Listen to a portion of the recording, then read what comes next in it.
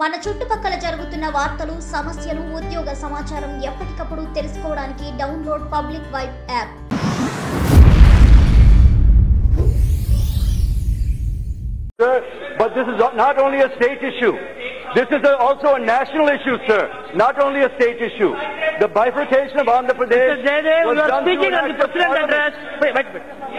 You are addressing the president address. address please confine your subject Sir. in the president address. The bifurcation of Andhra Pradesh was done through an act of parliament, sir.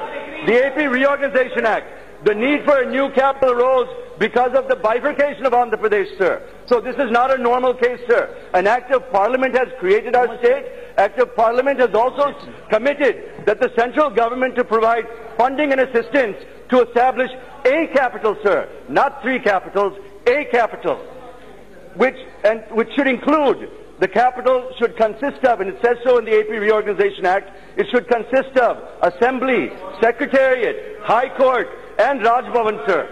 And it also says, it also says to provide, the central government should provide connectivity by road, rail, and air to the capital, sir.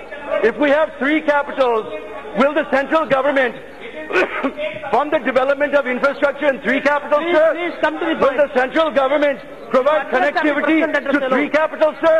Will the central government give us funding and give us connectivity to three cities, sir, when we're struggling to have connectivity to even one?